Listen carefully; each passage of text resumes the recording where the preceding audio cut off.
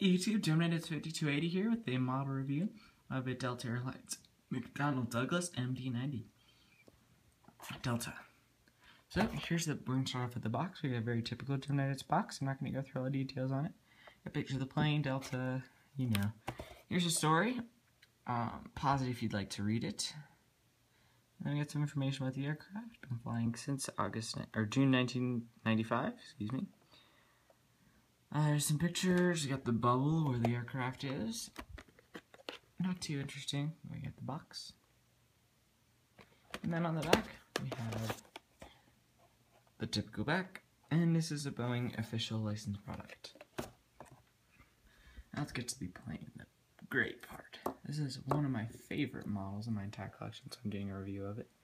So, I really, really like this model. I got it um, I think about a month and a half ago, and it's just phenomenal. I love this plane. I do have it deroutes and all my up, and whenever I'm in my airport around, try to get it get it in it. Um, I absolutely love it. I think it's got phenomenal detail. No antennas, but still phenomenal detail. And for such a small plane, I mean, for to have all this detail. So let me get into the review. I'm gonna start off here at the front of the plane we have our cockpit windows and the eyebrows. And then we have a little uh, probe and a little uh, thing here. I don't really know what it's called. It's really nice.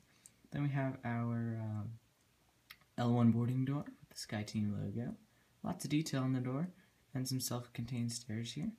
The Delta logo and our windows. As we go back, the wings are pretty far back on this plane as it is a it does it does have the and fuselage mounted turbofans. Um, great, great, great and uh, wing detail. Excuse me. There are two uh, doors, and then our American flag. Registration is N901DA. Uh, November 901 Delta Alpha. Then we have our little catering, which used to be catering, now it's just an emergency exit door. And then we have our engines. We got the what engines does it have on here? It has IAE V25s very nice. Great detail. I think the detail on these engines is just phenomenal. got our T-tail. Love T-tail planes. Let's go at the bottom. The other side's the same. We'll go. We'll get a couple of views of it at the end. Starting at the front, we have our uh, nose gear doors, and it, this does have nose nose cone detail as well. Nose gear, um, and then we have our Delta Blue, and then two bag loading in the front and one in the back. Gemini logo, sand hole, rolling landing gear, rubber.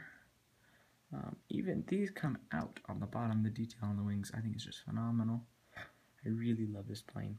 Then here we have our self-contained stairs in the back for emergencies, which they do put down at some airports. And the bottom of the T-tail. Bottom of the engines, and then here is the right-hand side of the plane. Just like the left, but kind of in reverse. Got a smaller catering door and the logo not offered. So that is going to conclude the review of the McDonnell Douglas McDonnell Douglas MD90. It does have rolling gear. I really like this plane. Definitely recommend it if you can find it. Um, I paid, I got it for like 30 bucks on eBay. Um, it was worth every penny of it, and um, definitely recommend it. So like, comment, and subscribe. Give me a thumbs up, and uh, we'll see you in another review. We should have five to seven more today. Thank you, and uh, see you later.